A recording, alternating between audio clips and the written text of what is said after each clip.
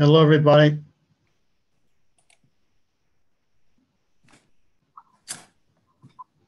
Hi, John. Hey, John, nice to meet you. Yeah, you too. Yeah, it's Really uh, Good It's pleasure. I'm- We're gonna, yeah, I'm gonna probably wait about maybe four more minutes. sure. Yeah, whatever you whatever you want. Great, and then we'll start and I'll just, as people come in, I'll, I'll bring them in. Um, I thought we could do, John, is I'll just do a quick introduction. And then we'll just have a conversation, you know, maybe it lasts 45 minutes, 50, whatever.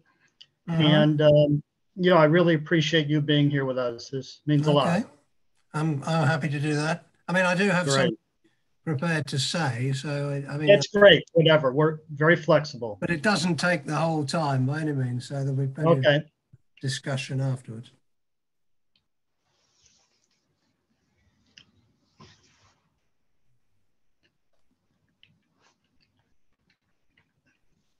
it looks like besides some people here in Duluth, I've Uh-huh. heard that we will have some faculty and students joining us from three or four different colleges or universities. So that's nice. That's good. Yeah. I thought you'd all be glued to your TV screens watching Trump, but evidently not. Oh, I'd rather watch you than. Right. Uh, Usually have to take a few aspirin after I watch, watch him, but Sure.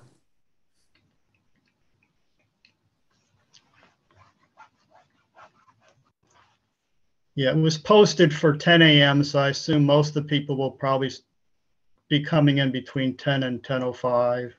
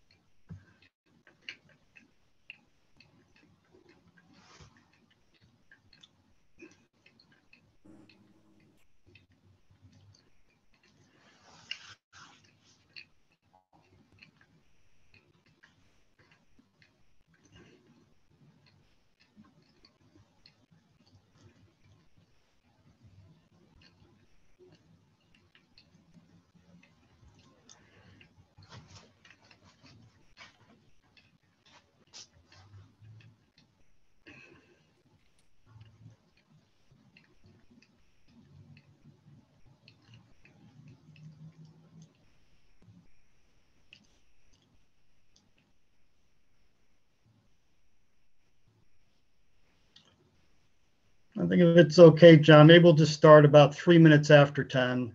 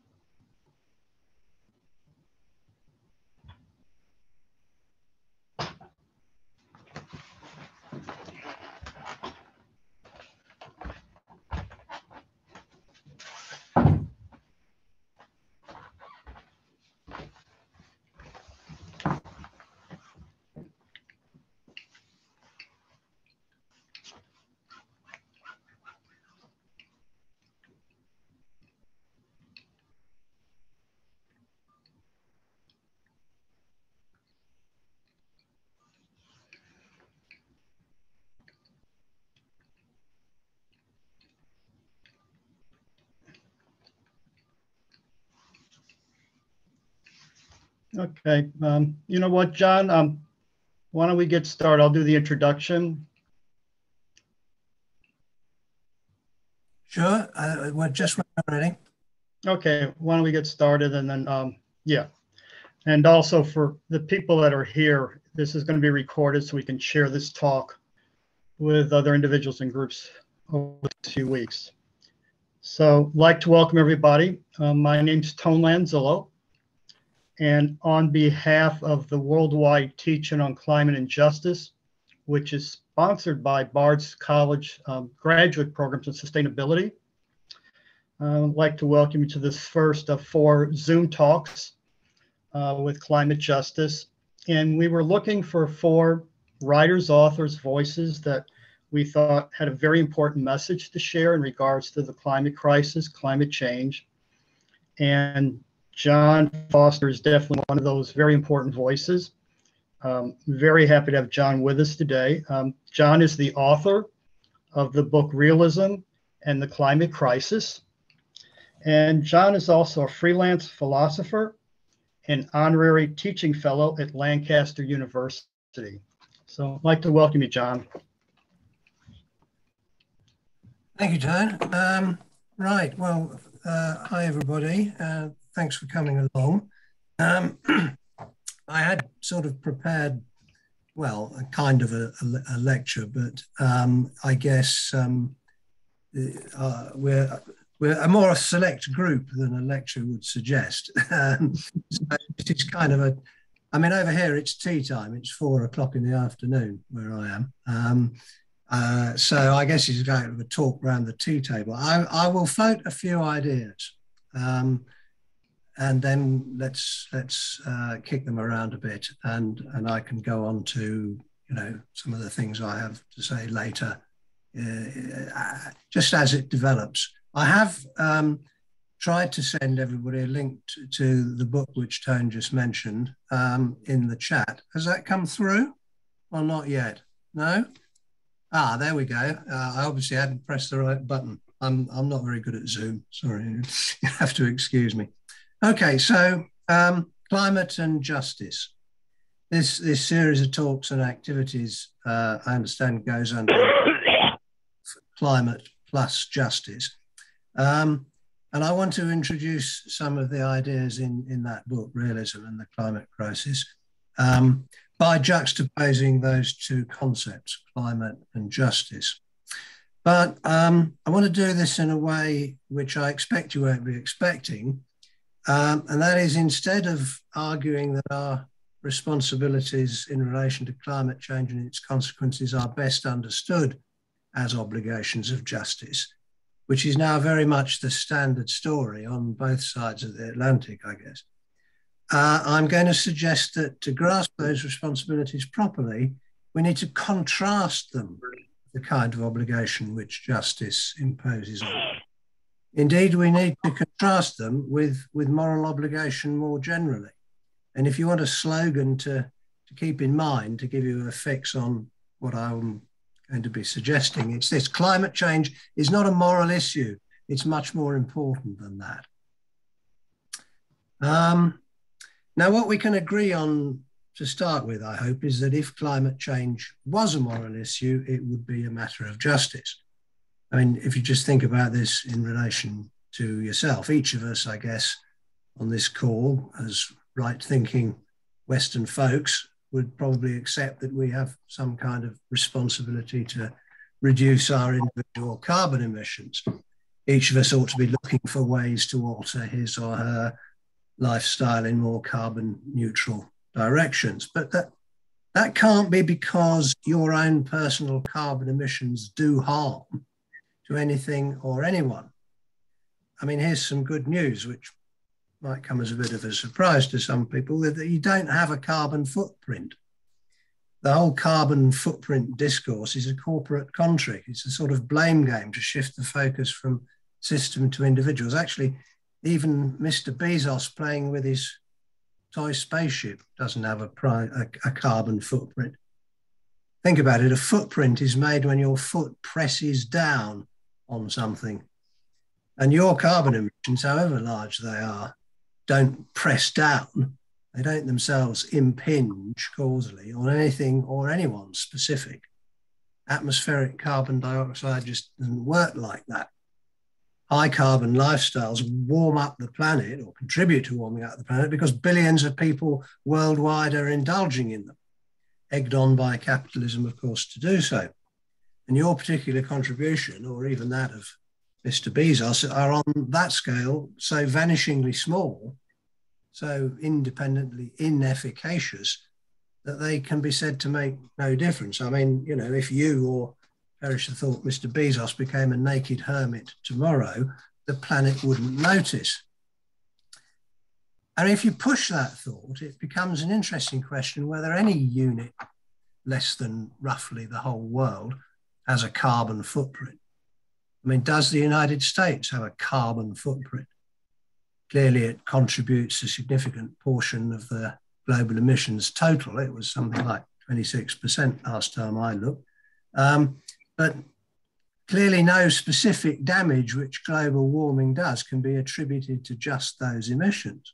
That's not how it works. Now, the absence or the drastic reduction of those emissions would certainly make an identifiable difference. To the speed of the warming process or severity of its cumulative effects. So here is a real, albeit a very generalized kind of harm to which you as a citizen, I as a citizen, we're each contributing our might.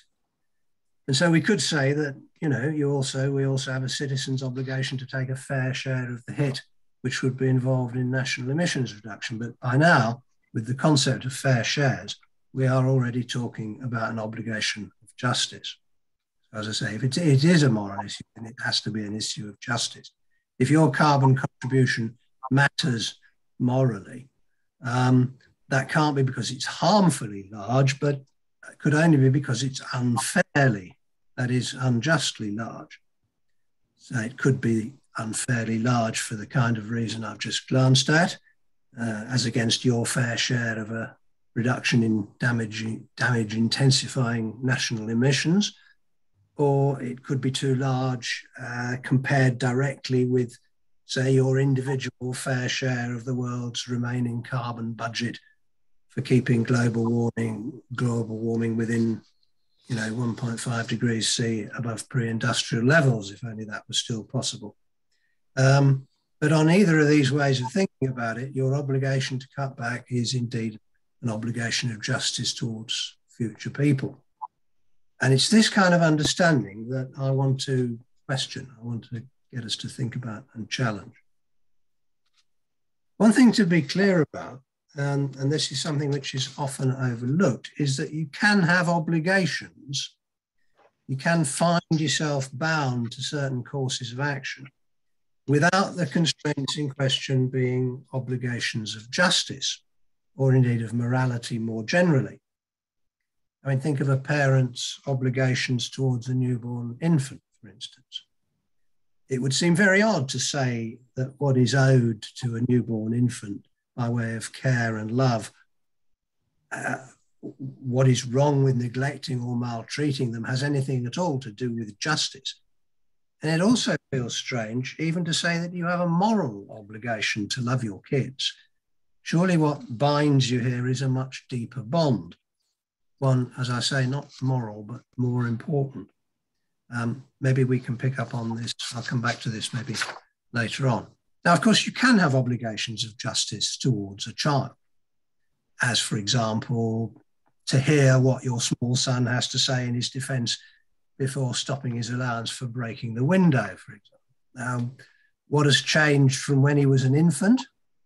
Well, clearly, he's not just grown into the capacities of being able to break windows, but he's now joined you as a member of a community of justification, someone who can offer and be offered reasons.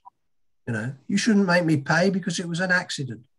Well, yes, I should because you should have been being more careful. He's thereby become someone to whom you have an obligation of justice, not just to hear his account, but to treat him only in ways which can be justified by an appeal to reasons. You know, you wouldn't want other people to act care, carelessly around your stuff. various fancy forms of this idea get labeled contractualism in um, you know, philosophical moral theory, but the principle is quite a general one. We're on the terrain specifically of justice when action has to be based on the chance of a fair hearing, where that in turn means a hearing where they can advance reasons for their actions, which they could reasonably expect others to accept as good ones. But if an obligation of justice means one based on the possibility of a fair hearing for reasons, then we can't have such obligations towards future generations. They can't participate with us in any community of justification for the obvious reason that uh, they aren't yet around to do so. Now, of course, it is possible to put this point into cruder form, and then it looks implausible.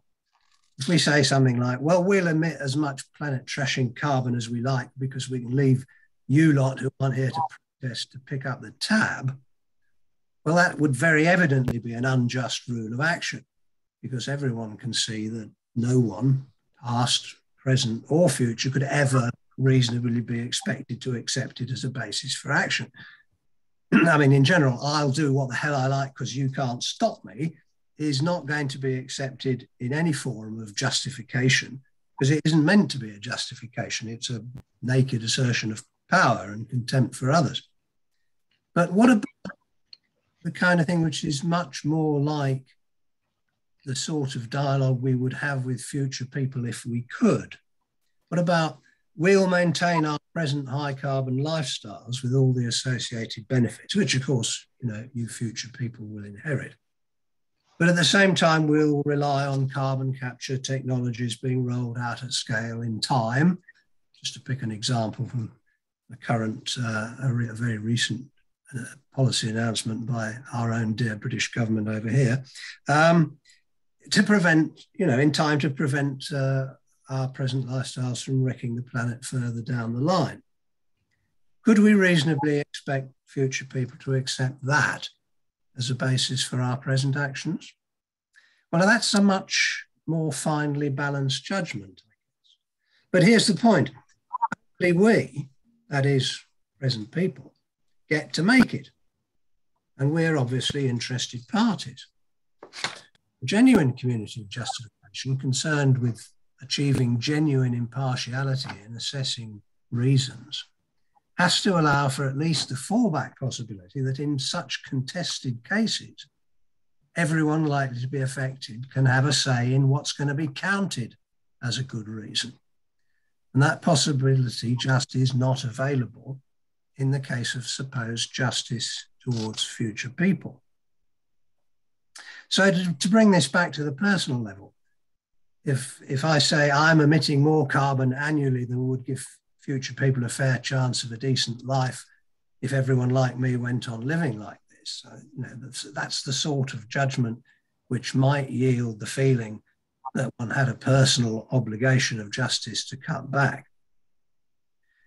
That's actually a conclusion depending on a whole raft of assumptions about you know what mitigation technologies are going to become available, what major shifts to renewables might become plausible, what forms of adaptation are going to be feasible or become feasible, and indeed also about what sort of lifestyles future people are going to want or to find acceptable.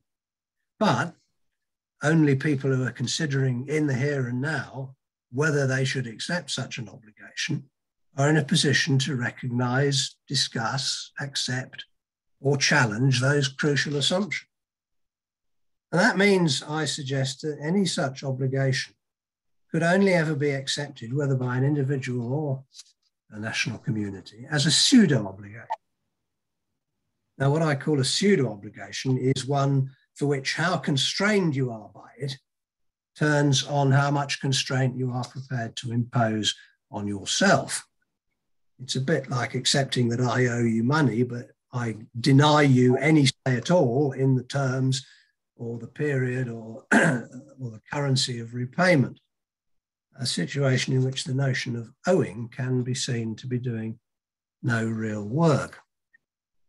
And in this light, it should be found completely unsurprising that whenever such pseudo obligations, those endorsed in the Paris Agreement, for instance, threaten to become inconveniently pressing, they're reinterpreted or recalibrated so as to give us a slightly longer lease on doing what we like. And that's been the essential history, has it not, of national and international climate policy for decades. And don't say, as otherwise respectable writers in this field actually have tried to say, that, ah, but we can appoint guardians or representatives or similar to speak on behalf of future people so that they can, after all, have a real voice in these contested judgments and decisions. Yes, it, it's true. We, that is, present people, can indeed appoint such officials.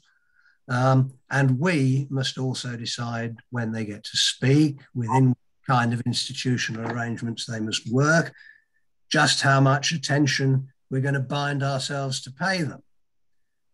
So, I mean, such a portentous charade just doesn't avoid the difficulties about over genuine impartiality as between participants in the community of justification, which I've been outlining. I mean, it just makes them more glaring. Okay, so contestability is the issue. And contestability under a different aspect is what gets in the way, I would suggest, of other models on which climate responsibility might be claimed to be an obligation of justice. Models which try to make it into an intra-generational rather than an intergenerational matter. So consider, for example, the idea that your present level of carbon emissions is unjust because you're enjoying it as the beneficiary of a civilization with historic responsibility through the Industrial Revolution and the subsequent development of a global fossil fuel economy. Um, for sea level rise is now threatening the livelihoods of people in low lying Pacific islands and elsewhere, people um, and places with historically very low carbon contributions. You owe these people, it is supposed, not future people, not non-existent, still only potential people, but you know, people who are actually here and vocal and vigorously pressing their claims.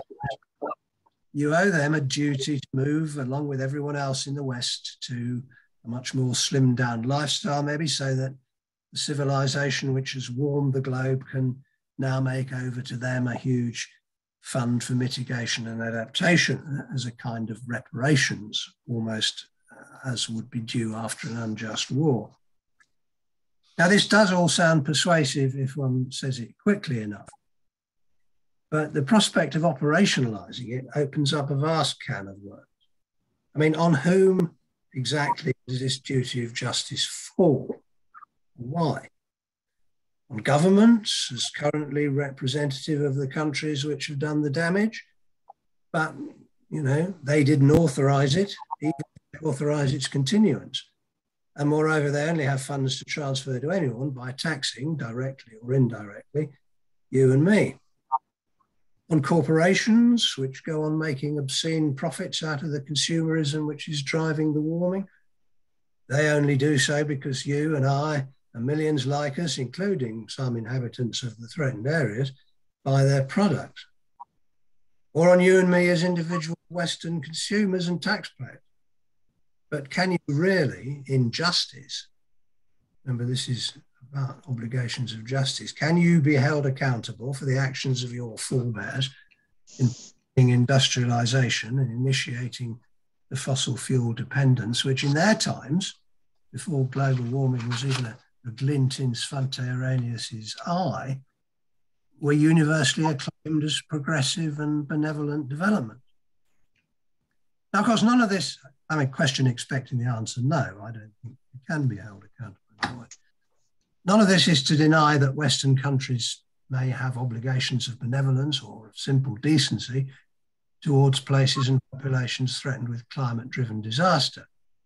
And individual citizens will have corresponding obligations to play their part in ensuring that their governments act decently. This is obviously not a negligible requirement. But Equally, and this I think is the key point, it's just not the kind of requirement that we should be looking for here.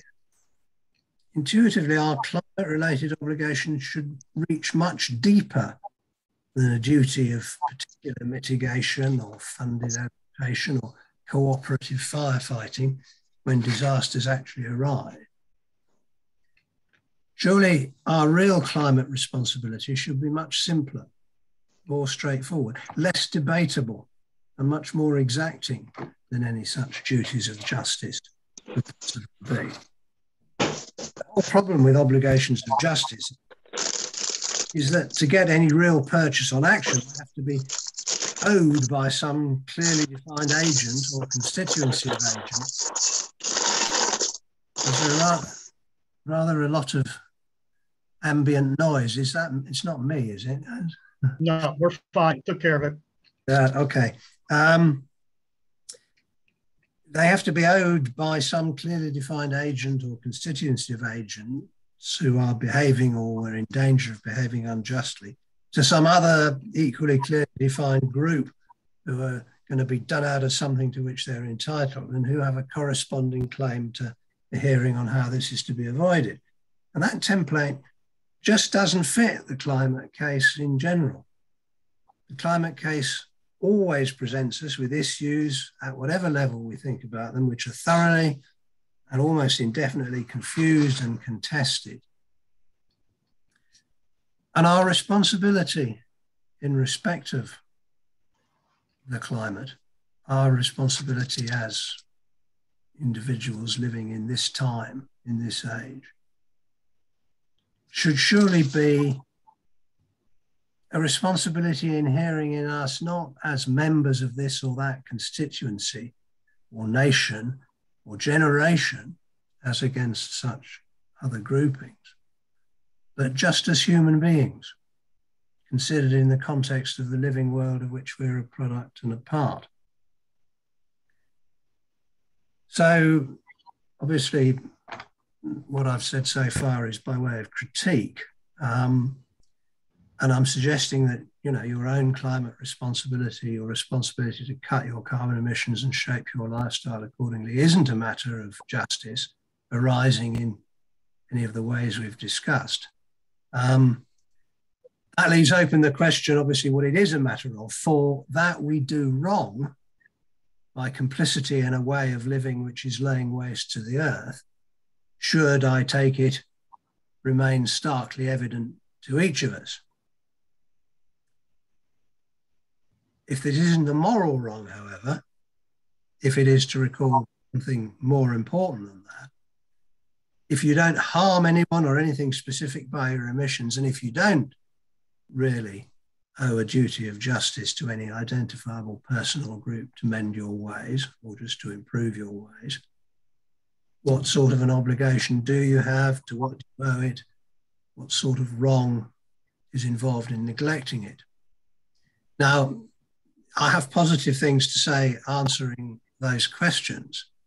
But I guess, you know, given that we're a, a, small group and this shouldn't be too much of a lecture, perhaps I'll just stop there and we can have some discussion, maybe prompted by what I've said already, because I don't expect by any means that everybody will agree with it.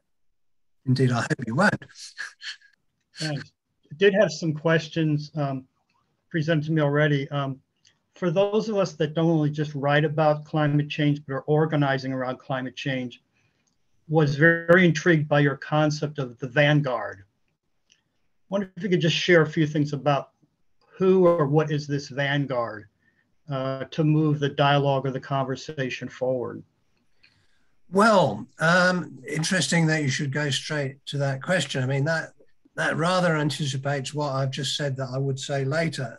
Um, but uh, very quickly, I think that um, what I call the vanguard are people who have recognized their actual climate responsibility, um, which is not, which is which is mis misconstrued, I think, um, on a on a moral or a justice template, which is something much more in your guts. It's it's a sense that this civilization, um, in the way it is travestying life, both life at large in the living world and life as it manifests itself in, in you as a creative agent, this civilization is just intolerable and has to be got rid of. Um, and people who have got to that recognition find themselves confronted with a choice. You know, you can't, if you've once seen that, go on just cultivating your garden. You want to do something about it, you've got to be some kind of revolutionary. Um, and that is, is that's essentially the the vanguard idea. I mean, you recognise vanguard from from previous revolutions. Um, the idea of the um, you know the Leninist vanguard. Um, I've drawn on a bit there, um, but that does all depend on the recognition that this is about not about justice, not about moral obligations. It's about being able to live with yourself if you remain complicit with this civilization. And if you find you can't, what do you do? And what, what do you do in conjunction with other people who can't? Right. Because, of course, it's very, very late um, that's an absolute context of, of anything I've got to say about this. The climate emergency is desperately serious. Um, and conventional politics seems helplessly incompetent to cope with. Um, so something beyond conventional politics, and that perhaps also means conventional democratic electoral politics, has now to be invented by the people who recognize the, the extent of our problem. And those will be a minority. This is a point about the vanguard as well. Is a revolutionary vanguard minority. Because think about it to recognize the, the state of the emergency that we're actually reached, you need to be intelligent enough you know, to understand what the scientists are saying. You need to be reflective enough to apply that to your own condition. You need to be imaginative enough to, you know, have a vivid picture in your mind constantly of what's going to happen, because this is all, you know, further down the line.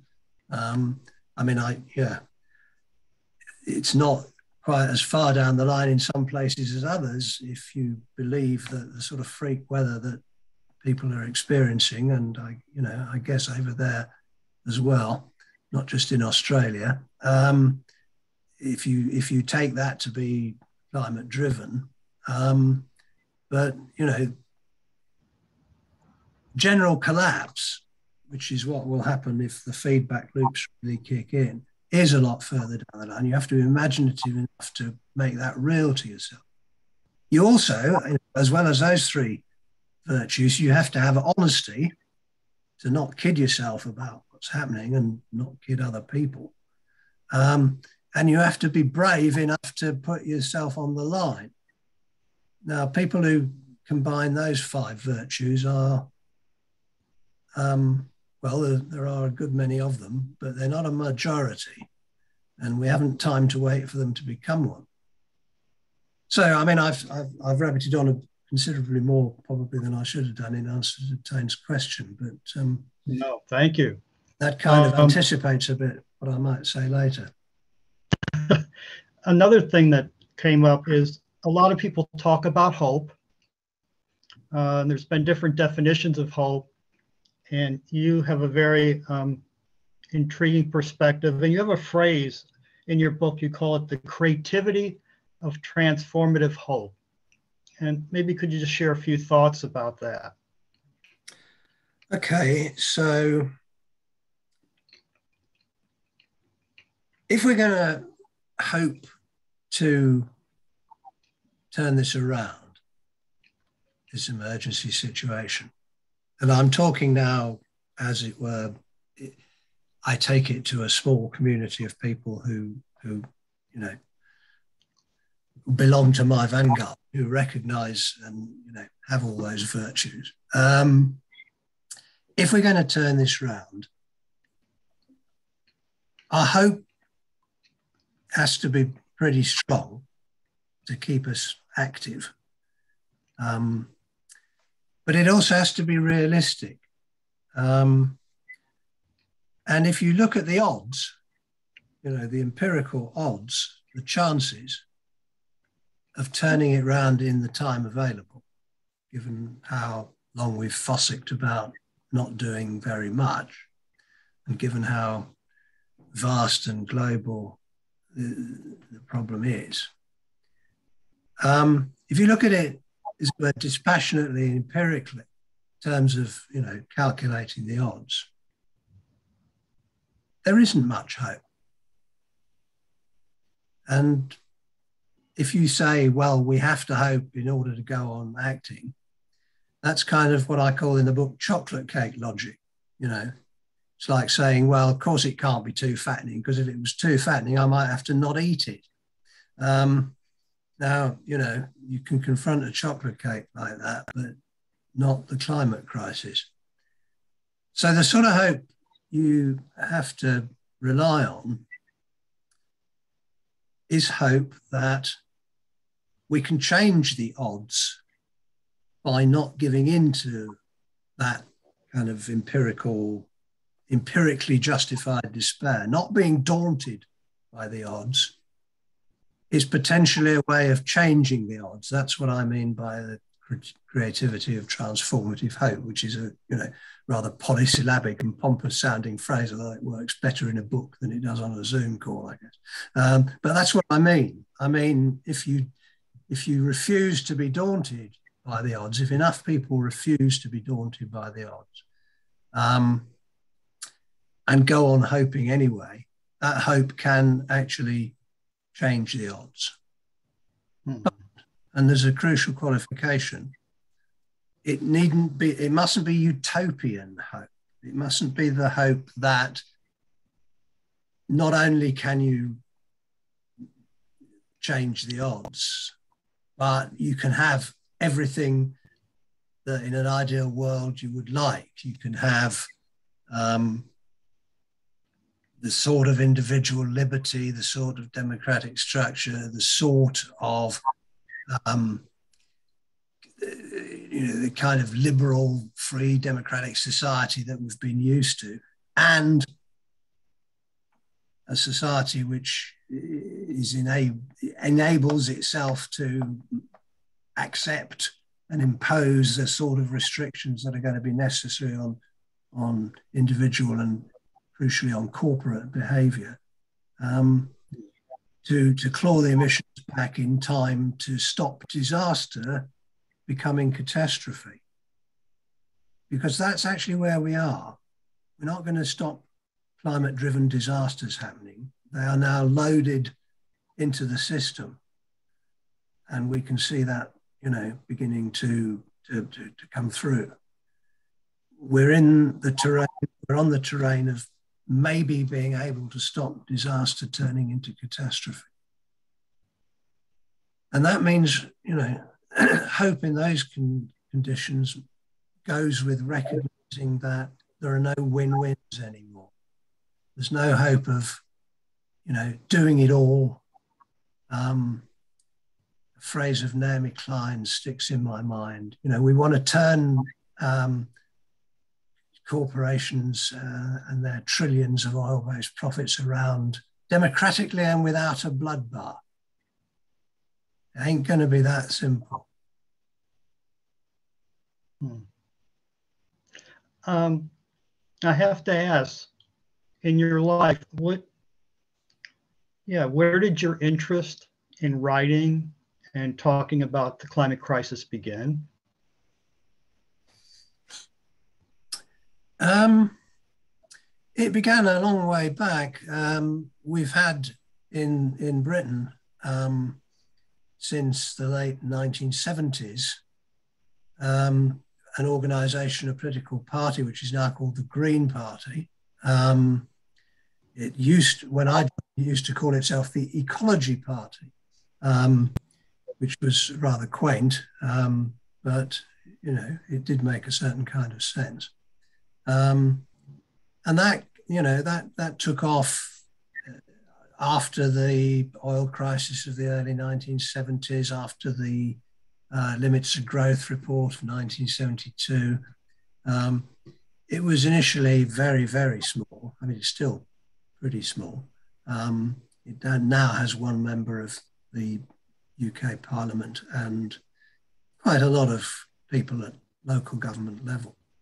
Um, and I got involved in that um, because I was interested in these issues and saw that something had to be done politically. Um, and um, and then when I realised that this wasn't going to happen through the ballot box, after having you know given quite a lot of my life over over a good many years um, to uh, try to make it happen through the ballot box, and uh, I, I, then thought, well, maybe we need to uh, examine the ideas that lie behind this, um, and so I ended up um, thinking and writing about it, which connected to you know my own academic and intellectual background. So um, I, I, think of myself as a as a, an intellectual activist now.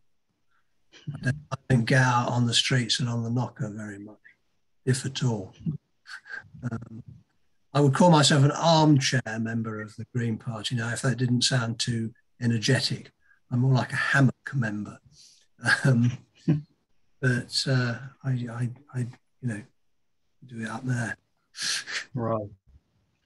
Um, as you know, writing about doing research, organizing around the climate crisis um, can be very difficult and challenging. Um, is there anything out there that inspires or motivates you to continue what you're doing, whether it's through your writing or speaking? Um, well, it's changed over time, actually. Um, when I started writing and and, and um, you know trying to, to write serious books about this stuff, um, yes, I hoped that um, there would still be a kind of conventional political solution. Um, I'm not sure I believe that anymore. I think if there is a solution, it's going to have to be, as I say, revolutionary. Um, and what I what now keeps me going, um, well, two things. Um, one, I am, as you can see, um, getting on in years, and uh, I've got things that I want to say before the chopper falls, um, which means I have to get on with it. Um, but the other thing is, I've now got grandchildren. Um, and when I think about what their lives are going to be like when they're my age, if if we don't manage to turn this thing around, um, well, I I I, I shake, um, I I quail. Um, that's an important motivation now. Is actually mm. because future generations are, as it were, here already. Um, in the sense that by the time those little lads are my age, you know, in the in the 2070s and 80s, um, it's going to look very, very bad if we can't do it. Very bad. Yeah. Um, Does anybody have any any thoughts or comments on the critique of the justice-based um, model of climate obligation, climate responsibility, which I was which I was offering earlier. I'm quite interested to hear any feedback on that. Um, I mean, I, I make the case in the book, and I, have kind of summarised it uh, as, as as cogently as I can for this kind of forum. But I'm always interested because, you know, in the, the standard the standard model um, which is reflected in the title of this of this series, is you know this is about is about justice. This is about um, obligations of justice to whoever. Um, and uh, I'd love to hear what people had to say about that. Yeah. If I could, I had a, a thought. yeah, thanks, Michaela. Yes, go ahead. Um, good morning from LA. Yeah. It's, it's, good afternoon. Good afternoon too, so over here. trying to caffeinate up here. I, I take your point. Um, so I was kind of thinking about um, the development theory, modernization theory, and as that kind of correlates to dependency theory. Um, so with those three theories kind of in mind, um, and this knowledge that we kind of have now that our actions do affect a disproportionate like South, uh, global South, right? So my purchase of this, even though I use it, is something that probably I don't need.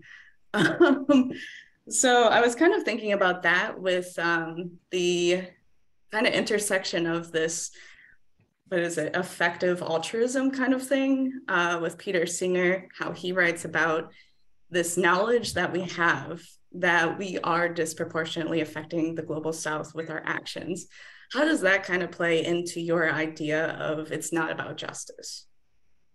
Well, I mean, it, you know, interestingly, you you brandish an artifact um, which you you say you didn't need, but you know you bought anyway.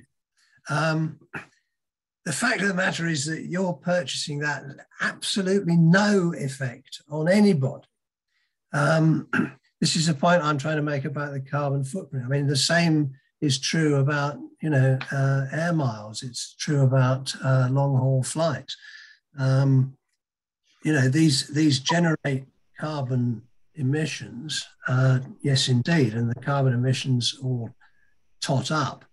But it's not, as it were, as if anything you do or don't do is actually going to make any identifiable difference. There's nobody out there in the global south who is going to suffer or not suffer because you do or don't do something. Um, if it's an obligation of justice, it has to be on a very, very much larger scale. It has to be, as it were, intergenerational. Um, and my my question is whether the justice template works when you get it to that scale. Um, because, you know, one can say, oh yeah, I shouldn't, I shouldn't fly. I shouldn't take this flight because, um, I, I, because of the carbon emissions associated. You can be like Greta Thunberg, you know, and decide to sail across the Atlantic instead of flying um, and very, you know, very commendable too. Um, but that's not actually going to deter people when they feel they actually need to fly. Um, and very often people have, you know, reasons, genuine, genuinely moral reasons, you know, love miles when you have to go and see a, a sick relative on the other side of the well, in your case, the other side of the continent. Um, for, for me, you know, somewhere somewhere f- further away than than the coast of this little island. Um, you're not going to not do that, actually, um, if it, if push comes to shove, because you, people are going to know that those emissions aren't aren't hurting anybody.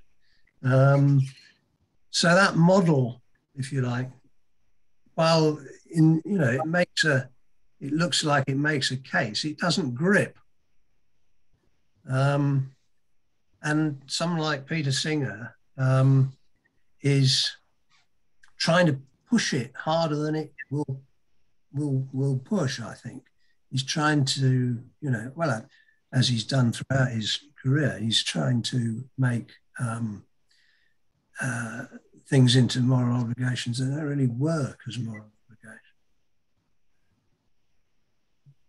I had a follow up to that. that sounds that sounds negative, um, and it is it is it is negative in in relation to that template.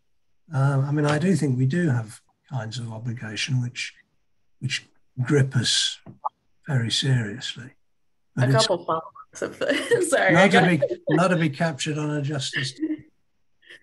Um so first follow-up to that i was kind of wondering if like the development and modernization is in your eyes benevolent malevolent or indifferent? Development in terms of? Like uh, the modernization theory where um, we're kind of on this jet plane taking off right? And we're not really set to like demodernize. We're just kind of in the air all the time going uh, progressing in a way developing progressing um, but not really de-progressing or de you know kind of settling down at all. Uh, that kind of model is that benevolent, malevolent, or kind of indifferent? Um, well, I think um, anything which applies the term progress to what humanity is currently doing to the planet can only be malevolent um, because um, when you think about the extent to which this civilization, you know, shreds and tears apart the living world, um, the extent to which it shreds and tears apart the sense of life and creativity with individual people. Um, there's no word but malevolent for that. Um, and calling it development kind of begs the question. Um, because development sounds like a good thing. You know, it's good to develop. You know, you get bigger, you get stronger. If you're a plant, you flourish and that kind of thing. But it isn't. It's it's degeneration, not development. Perfect. Cool. so then I was wondering, um, these small scale changes uh, with with regards to a maybe carbon footprint or uh, let's talk about maybe fossil fuel, um, burning of fossil fuels, synthetics, uh, things like that.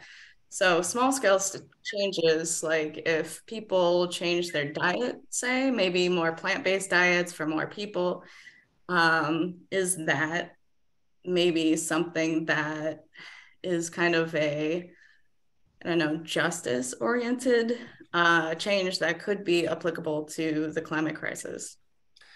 Well, I yes, nothing that I say it was meant to suggest that people shouldn't be looking for ways to reduce their own carbon commitments.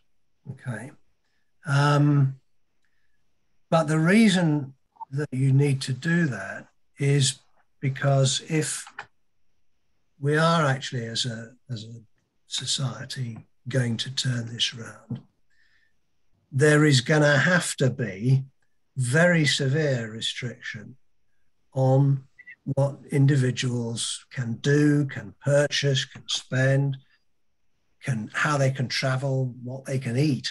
Um, and as it were, it's a good thing to prepare yourself for that um, because it's coming. Um, and to the extent that that is about reducing your complicity in a dis, in a life destructive system, that's something very important to do. But that's that's if you like the positive side of my critique of justice. If we think of it as um, if we think of these uh, reductions and, and changes in lifestyle, which we're all obligated to as um, discharging obligations of justice. Because those obligations are so squishy, we're going to, you know, when push comes to shove, we're going to just do what's comfortable. That's human nature. Um, if we, as um, enabling us to be less complicit in a viciously destructive, life hostile system, then that might feel different. So yeah, I mean, people have got to people have got to change a lot. Um, you know, even people like us who've probably changed a fair bit already are going to have to change a lot. Thank, thank you. Yeah, thank you. Is that okay? Yeah, yeah. Connected to justice, that's, or is that, that, not connected to justice? No, that's that. I, I, I, and I think it is in the sense that it illustrates the point that I started off by saying I was going to make, which is that we have obligations. But if we think of them as obligations of justice, we maybe misconstrue them. And they maybe bind us less. Um, because actually, when you start questioning, well, who's this obligation to? Who am I potentially harming? Um, how do my emissions get bound up in, in all this, this total process? Um, the obligation kind of um, drifts out of the window. But if it's an obligation to make sense of your relation to a system which is viciously destructive and has to be changed. That's a different kind of obligation. It's an obligation essentially about making sense of your own life. And that's that's ultimately what I mean by saying it's not a moral obligation or obligation of justice. It's something actually deeper, more important. And that, that's the case that at considerably greater length, um, I argue in this in this book, which uh, the link to which I've put in the chat. Cool.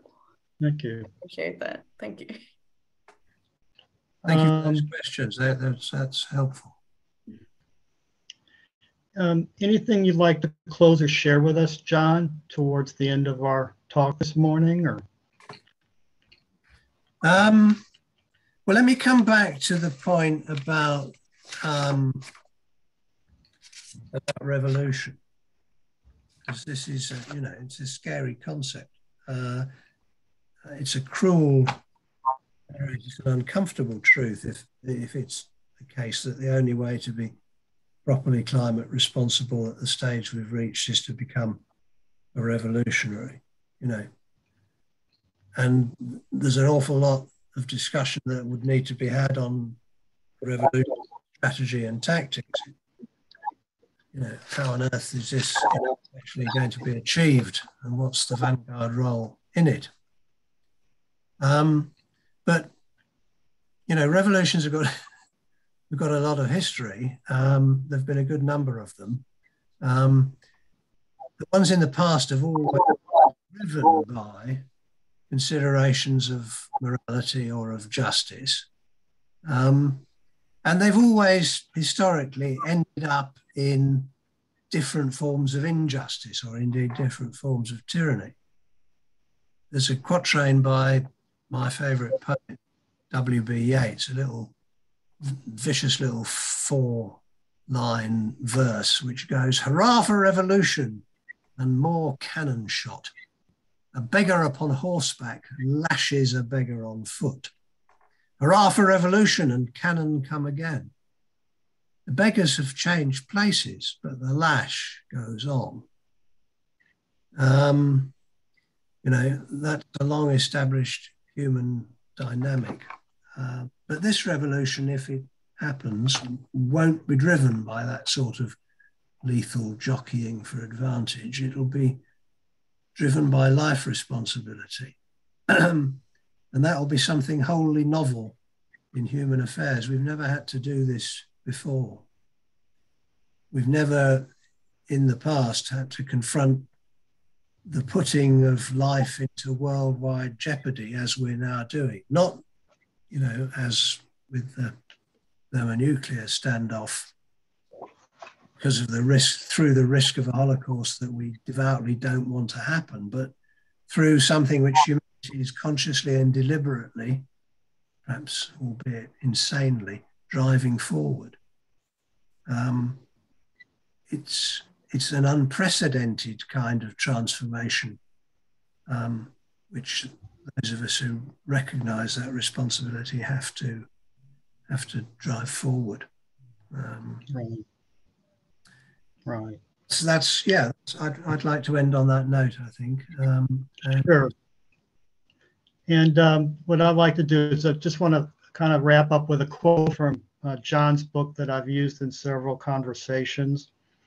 Quote, hoping against hope in the face of our unprecedented crisis has to mean hoping that one's agency can somehow make a difference against all the odds, and the kind of self of which that could be true. The self with that interrelations the responsibility, undaunted in its exemplary action by any hesitation over the rationality of its likely impact, is forged in the very same stoke. Because to trust oneself to such active hoping is to release the life energy which creates its possibility. Unquote. I want to that's thank good. you. I, I, I couldn't have put it better myself. Um, I really appreciate you being with us, John. We will share this conversation with others and um, look look forward to staying in touch. Indeed, and thanks everybody for joining and for your contribution. Thank you. Take care, everybody.